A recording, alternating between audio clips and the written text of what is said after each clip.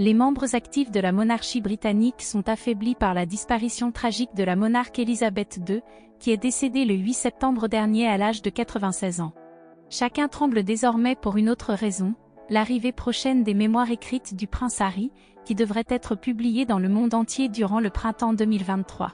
Selon Random House, la maison d'édition qui s'occupe du livre et de sa promotion, le papa d'Archie et Lilibet s'apprêtent à produire un portrait personnel honnête et captivant, mais également à raconter les hauts et les bas, les erreurs, les leçons apprises. Un contenu explosif qui a de quoi inquiéter les équipes de Buckingham Palace. Selon le média page 6, les mémoires du prince Harry promettent effectivement d'être juteuses et devraient dévoiler quelques nouvelles histoires sur le passé dont il n'a pas parlé auparavant. À propos de son enfance. La famille royale, particulièrement nerveuse, craint énormément pour sa réputation, notamment à cause de deux points qui pourraient bien être abordés dans le livre.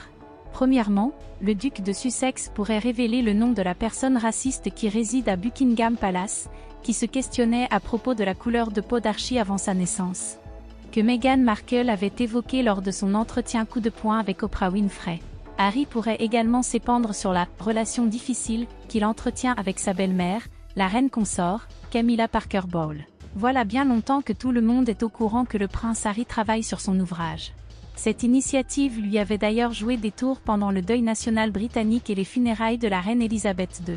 L'époux de Meghan Markle avait effectivement été écarté de plusieurs dîners officiels et ses proches avaient beaucoup de mal à lui adresser la parole, craignant que leurs propos ne soient modifiés et utilisés contre eux. La duchesse de Sussex avait carrément été soupçonnée de porter un micro, sous sa robe, pour enregistrer la moindre de ses interactions lors des diverses processions déplaçant le corps de la reine.